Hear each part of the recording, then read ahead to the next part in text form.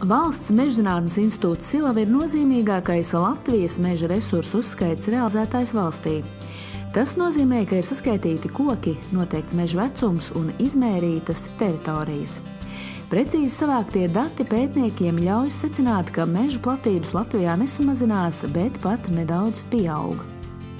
Monitorings ir pēc savas būtības, tā ir uh, informācijas iegūst sistēma ar, ar zinātniskām metodēm. Un informāciju par mežu uh, Latvijā mēs varam iegūt divos veidos. Viens ir tas, ka mēs braucam piemēram ar automašīnu pa ceļu un tad vērojam nu, ceļa malā kaut ko tur redz kāds, kaut ko neredz.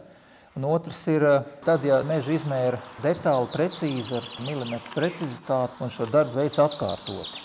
Un mūsu darba ietvaros eh, Meža institūtā Silava tiek veidoti 16,000 eh, paraugu laukumi. Tātad visa Latvijas teritorija ir pārklāta ar šādu paraugu laukumu tīklu, un katrs no šiem paraugu laukumiem tiek apmeklēts reizi piecos gados.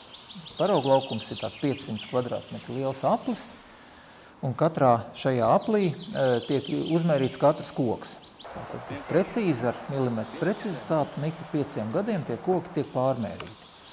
Un tad, kad mēs šo 16 tūkstošu paraugu laukumu saliekam vienā sistēmā, tad mēs iegūstam nu, informāciju, cik tad Latvijā meži ir hektāros un cik tad Latvijā e, šajos hektāros ir kubikmetri. Un kā ik pa pieciem gadiem šis meža stāvoklis ir meža struktūra mainījusies. Tā ir monitoringa būtība. Pateicoties monitoringā iegūtajiem datiem, ir iespējams prognozēt koku augšanas gaitu, kas dod iespēju plānot, kādi meži Latvijā būs nākotnē, kāda būs meža loma oglekļa piesaistē un dažāda veida klimata saistību īstenošanā. Šobrīd Silavas zinātnieki meža monitoringu veic jau 4. piecu gadu ciklā. Lauku darbi tas ir tie, tie 9 mēneši gadā, tad, tad tos 3 mēnešus atlikušos tiek vadīti dati datubāzē un pēc tam veikt aprēķini. Viņš ir drīzāk tāds fizisks darbs, ka tev ir jābūt gatavam no aprīļa līdz oktobrim, novembrim, praktiski jebkuros laikapstākļos iet uz mežu, mērīt, iet tālu uz gabalus, jo ceļu jau tīkls jau mums, kāds viņš mums Latvijā ir, mežos tāds ir, un tad ir jābūt gatavam brist purvos, runāties ar cilvēkiem, stāstīt, skaidrot, un ka viņa mežam nekāds ļaunums no tā neceļās, kad visi vienkārši kopējā valsts labuma dēļ mēs teiksim, lai mēs zinātu precīzāk, kāds mums tas mežs ir, ka vienkārši mēs mēram šos laukumus. Cilvēkiem, kuri interesējas par mežu, noteikti pārsteigums ir tas, ka Latvijas meža platība nesamazinās.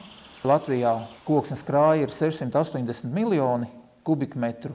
Tas varbūt šķiet daudz vai maz, nu, it kā tas ir daudz. E, katru gadu Latvijā nocērt apmēram 15 miljonus no šiem 680 miljoniem.